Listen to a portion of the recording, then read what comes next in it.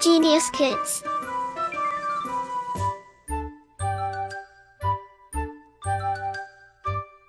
Cultivating love for learning.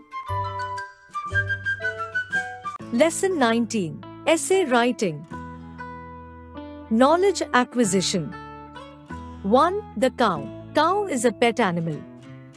It is a most important domestic animal. It gives us a very healthy and nutritious food called milk. Many people keep her in their houses for many purposes. It is not a wild animal and found in many parts of the world. Everyone gives respect to the cow like a mother. Cow is worshipped in India as a goddess from the ancient time. Cow is considered as the holiest animal among all the animals. It is found in many varieties differentiating in the shape, size, color, etc. 2. My father. My father is an ideal person of my life.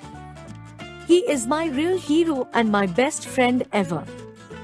He always helps me a lot in my any difficulty. He is an internet marketing manager in a limited company in New Delhi.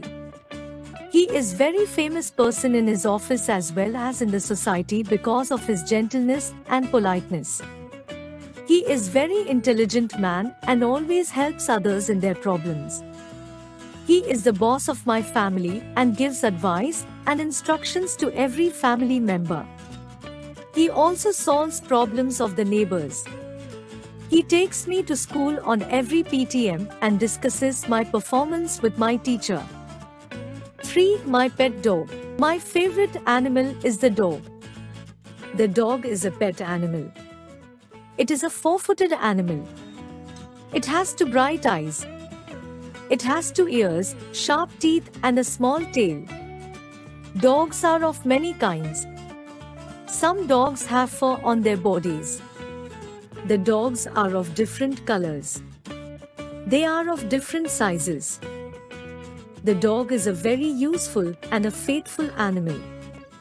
The dog can swim in the water. It is found everywhere in the world. It loves its master very much. It guards the house from thieves with care.